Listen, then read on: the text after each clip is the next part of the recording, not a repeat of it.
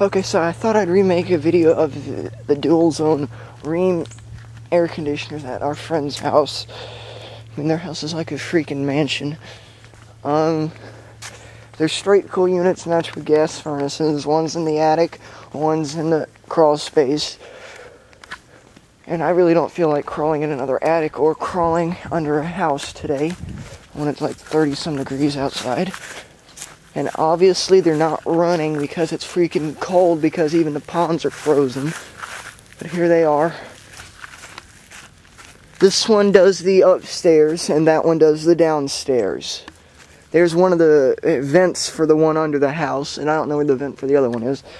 But this one is a Rheem high efficiency, probably a 8 or 9 SEER at the most. And it was manufactured in 1990. Here's the model number and the serial number. 220 volt, R22. Here's the lines.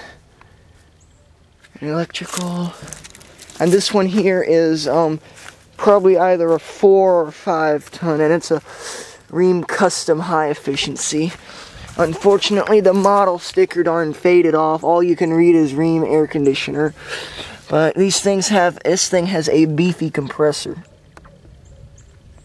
That big rusty chunk is the compressor. Just for the heck of it.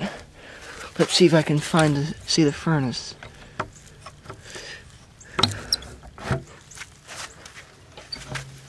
There it is.